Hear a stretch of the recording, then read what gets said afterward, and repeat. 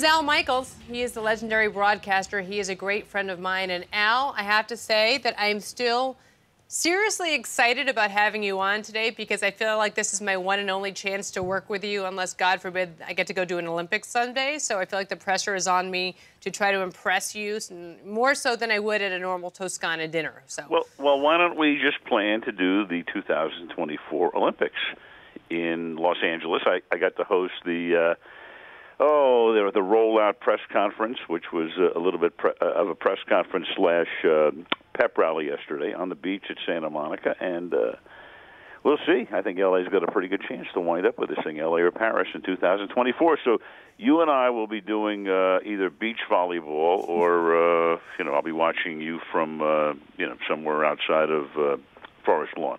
I want to tell you that I, I'm available. Uh, I will be there wee wee. I will be there whether it is here or there. I can't think of anything more exciting than covering the Olympics. That's one of the only things I never got to do, and the idea of doing it with you is downright ridiculous.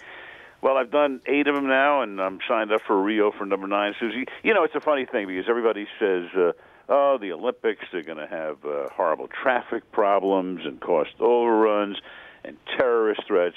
And this leads into every Olympics. And then uh, the last two that I've done have been fantastic. Vancouver was wonderful so was London. Uh, it's a great experience. We, look, we live in this world where uh, there's, there'll never be nirvana, but at least you get nirvana for a couple of weeks. I mean, the world comes together. Uh, the atmosphere is fantastic. If the city does it right, as LA did in, in 1984, you still reap the benefits uh, from an Olympics 30 years later. And uh, I'd love to see it happen again here because it, it's it's the most special thing I've ever been a part of in sports. It would be so funny to ask you, Al, what's your favorite Olympics moment? Because that might be possibly one of the more ridiculous questions to ask you. Well, you know what the answer yes. is. It had to be uh, you know, uh, high diving. In no, in the, it was it, it was uh, 1980, of course, in uh, the U.S. Soviet uh, hockey game, followed by the U.S. winning the gold medal against Finland a couple of days later. So, I mean, to me, that's one of those deals where. Uh, uh, 35 years ago, I got to experience the greatest thing imaginable, and uh, that will never be taken off the top of the shelf. I mean, that was just as good as it gets. And in eight days, I'm sure you would respond to the Patriots opener as being one of the greatest games you're ever going to witness.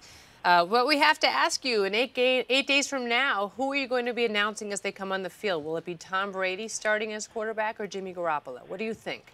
I have no idea. As Bob Kraft said, uh, about two or three months ago. You want to get a deal done, you get the lawyers out of the room. So now they got the lawyers out of the room, and they have the judge in the room.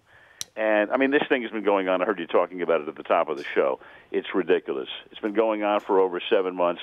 I, I read a column yesterday. It might have been uh, in the Daily News in New York. I think it was Mike Lupica who wrote, "This thing could have been settled in 30 minutes by Judge Judy." Yeah, it's the the perfect description. And it's ridiculous as well. I mean, can you imagine or can you think of anything in your career that's been anything like this before? No, because something like this doesn't go on forever and ever. It, it's not. Look, the one thing I do know is it's not as simple as the ideal gas law and all that, all that other nonsense. I mean, nobody understands what that is. This is, you know, was something nefarious done? After the balls wound up in the officials' locker room? Were they taken out? Were they deflated in the bathroom? Uh, and it also cuts to uh, the issue of you know who has control right now. And the NFLPA pretty much gave the commissioner all of these overarching powers when they made that last deal in 2011 and now they're trying to undo it. So I have no idea what's going to happen with this. And you know, even when Berman uh, decides to rule, whether it's today or tomorrow, it doesn't mean there's there's not going to be an appeal. This thing could could still be dragged out. I mean, the next step, it's really incredible. You're absolutely right. And, and wouldn't it make all the sense in the world to say, guys, no matter what the decision is, move forward, play the season. The, the, the, negative attention it's bringing to the game right now is just incredible. Well, it'd be easy to say that, except there's precedent here. So the league doesn't want to say, "Hey, look, if you know, if you go to court, if you if you take us to court, if you appeal, if you do blah blah blah, then you're going to win." They don't want that to happen.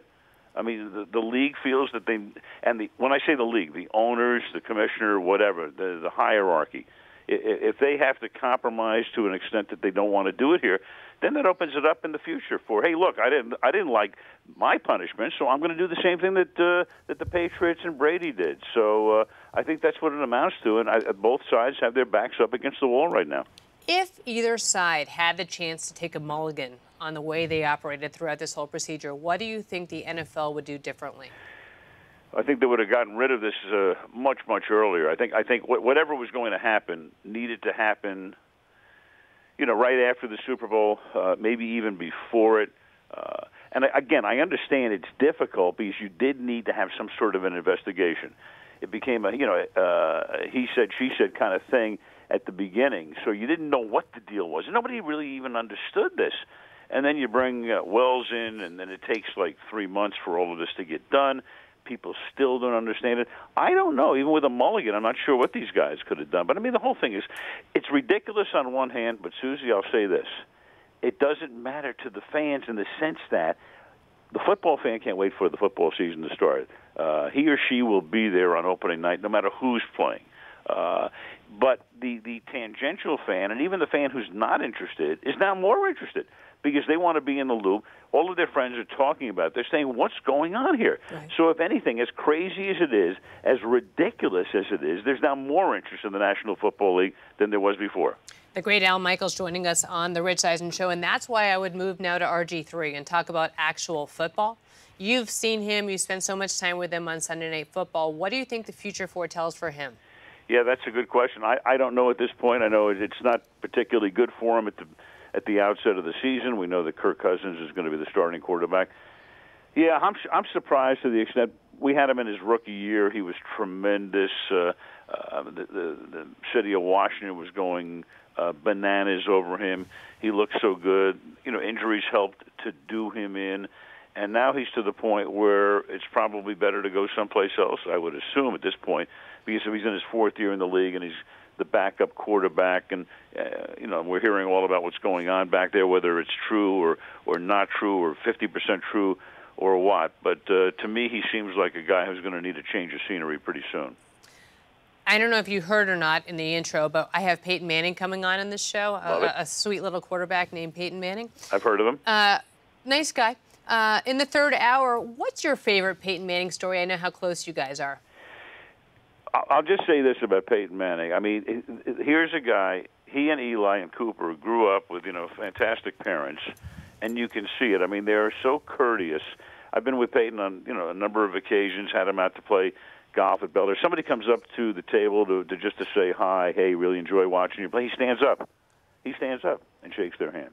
Uh, Eli is the same way, and uh, these guys, you know, had a phenomenal upbringing uh, I think he's uh, as great as he is on the field. He's even better off the field, uh, and it just shows you, you know, you you, ha- you have that kind of an upbringing, and uh, you carry it through the rest of your life. But he's a very, you know what he is? He's just a guy who's in touch with everything. Uh, you've heard about the things he does, where you know he'll find out about, it, or somebody will send him a letter about, you know, there's a, a, a sick child somewhere, and he'll call I mean, this is the kind of thing that Peyton's done throughout his career. I think you know of all the guys I've covered in the National Football League, he's he's just right at the top on every level.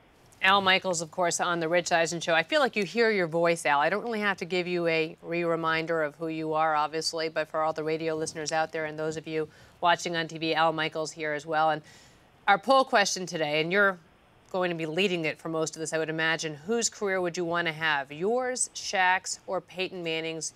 Do we put Matthew Hasselbeck in? I feel like that's like, you know, Matthew's going to give me some ribbing for this later in the show. Yeah, but... we put Matthew on there, Al, and, and Peter Gammons, who's also coming right. up later. Whose career would you rather have? Well, I don't, I don't think you're going to say Peter. Well, he, but the deal is this I don't want to have surgery. So. That's why I'm going to stick with with mine. I love you it. Shaq, Shaq, remember Shaq had the foot surgery. You know, we know what Peyton's had through the years and all of that. No, th- those guys pay a, a different price. I'd rather sit in this easy chair right now and talk to you. And you'd rather hit them straight today? Uh, well, imagine. whatever. No, I'm going to take a day off. Believe it or not. No, no greens for you today. Not no, no green, no. Never no greens, greens for no you. No greens and no vegetables either. Al, thank you so much for joining us. It means so much to me. I really appreciate it. Suzy, I think you should do this full time. Uh, as anybody listening, I'm available. There you go. If somebody can drive the kids to school, I can show up in a studio. See you at the 24 Olympics. I can't wait. Love to Linda. Okay, take care. Bye bye. The Rich Eisen Show, weekdays at noon Eastern. On Audience.